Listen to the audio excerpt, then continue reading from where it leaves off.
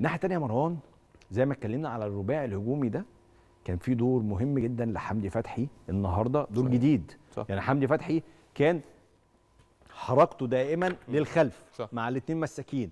النهارده حركته كانت. لقدام مع المهاجمين يعني صح. شفنا حمدي فتحي في الكرة بتاعت حسين الشحات اللي جت في القايم اللي عمل assist لحسين الشحات من جوه منطقة الجزاء كان حمدي فتحي كان هو صح. اللي جوه منطقة الجزاء فحمدي فتحي ومع اليو ديانج كمان كان ليهم أدوار هجومية كبيرة النهارده صحيح. وده فرق مع النادي الأهلي رغم إن إحنا كثيرا كنا ننتقد فكرة ثنائية حمدي حمدي فتحي. واليو ديانج الاثنين لهم أدوار دفاعية أكبر منها هجوميا لكن النهارده عملوا كمان زيادة رائعه وجود وجود حمدي فتحي يا كريم في فكرة ال 4 2 2 2 زي ما دكتور مم. جمال شرحها بتبقى مفيدة لحمدي هجوميا أكتر لأن وجود اتنين بيدخلوا في عمق الملعب بيدي لي أريحية إن أنا أنزل وأستلم من الاثنين center back ات. وجود ديانج إن هو قوي بدنيا بيديني أريحية دكتور جمال إن أنا أعرف إن أنا أسلم. في الناحية الهجومية وأطلع قدام وأنا مش قلقان على ظهري صحيح وجود برضو أرجع قوة حمدي النهارده لياسر إبراهيم مم. ياسر إبراهيم النهارده يعني طبعا كله هيروح 4-0 وجودة الهجوم وبيرسي تاو وشريف وبيرسي تاو جايب جولين وعامل اثنين assist غصب عني وعنك يعني هيبقى أحسن طبعاً لاعب. أحسن لعيب. طبعا يعني طبعاً.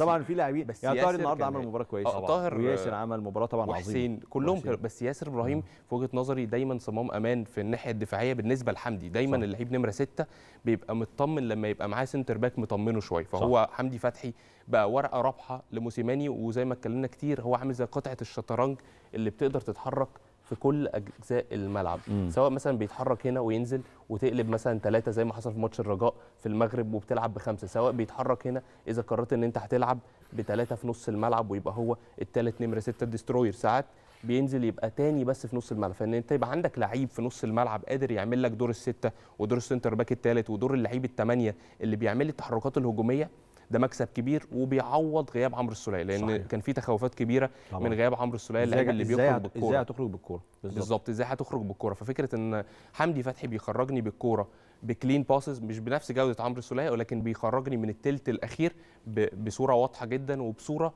فيها استراتيجية وبلان. النهارده فوز الأهلي تحت مسمى استراتيجية من موسيماني. قبل كده ما كنتش بشوف خطة أو استراتيجية للضغط ما كنتش بشوف استراتيجية لبناء اللعب أو ال build up النهارده واضح إن كل phase أو كل مرحلة من مراحل اللعب متقال فيها حاجة في اتكلمت المحاضره نقطة مهمة جدا كمان موضوع الضغط. آه، يعني موضوع النهارده. عمل الضغط بشكل كويس؟ صح. والضغط بشكل كويس ده معناه إنه يبقى ضغط حقيقي على كل اللعيبة اللي. هتاخد الكورة مش ضغط سلبي. يعني بالظبط. في المباريات الماضية يا جمال كنت بشوف إنه لعيبة النادي الأهلي صحيح قريبة من الكورة بس ما بتضغطش ضغط طبعاً. سليم جماعيا. ضغط جماعي يعني نقطتين كمان يعني اولا أنت النهارده النقطة اللي أنت بتتكلم فيها إنه الفعاليه في الضغط دي نقطة مهمة جدا لكن ساعدهم فيها إيه بقى نقطة ثانية مهمة جدا قفل زوايا التمرير صح. أنت. كنت بترحل المدافع كان بيرحل وهروح لياسر وأرجع تاني لل- للضغط ياسر إبراهيم لما تتفرج عليه في الملعب وتعرف المدافع مركز وهو ان جيم ولا لأ تحركاته قبل ما الكرة تقرب منه وقبل ما الكرة تروح مجرد ما يشعر ان. ان آه الاتجاه رايح أنا بانتسيبيت أنا رايح فين صح.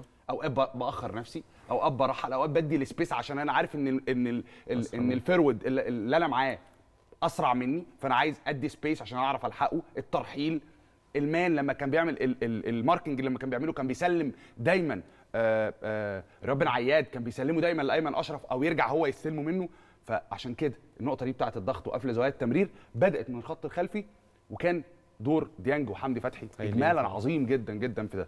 أسأل كنتوا الاثنين على بيرسي تاو. طبعا. علامات استفهام وتعجب وكل العلامات اللي في اللغة العربية تحطها جنب جنب بيرسي تاو. مستوى بصراحة شديدة وبوضوح شديد. هذه الفترة صحيح، الماضية صحيح. واضاعه إضاعة سهله للفرص السهلة ومستوى غريب. لبيرسي تاو لدرجه إن الناس سألت هو إزاي اللاعب لاعب في الدوري الإنجليزي؟ إزاي اللاعب ده اللي كنا شايفينه مع منتخب جنوب أفريقيا؟ اليوم بيرسي تاو ظهر بوجه رائع يعني. صح. هو الفكرة هل بيرسي تاو عنده quality ولا لأ؟ عنده عنده عنده quality طبعا. طب هو كان إيه مشكلته؟ مشكلته إن هو يعني حاسس إن هو level بتاعه أعلى شوية من النادي الأهلي. واضح إن هو حد اتكلم معاه وقال له يعني النادي الأهلي في النهاية هو اللي جابك وهو ال- يعني بيلمعك للفترة الجاية. فواضح إن هو بيرسي تاو بقى عنده دوافع جديدة. هو مم. بيرسي تاو أعتقد أثر نفسيا جدا بخروجه من كأس عالم أندية. ومن كأس عالم الانديه بعد إصابته هو ما لعبش ولا ماتش كويس مع النادي الأهلي. لكن واضح إن هو دلوقتي بقى عنده طموح أنا بلعب semi final Champions League أفريقي.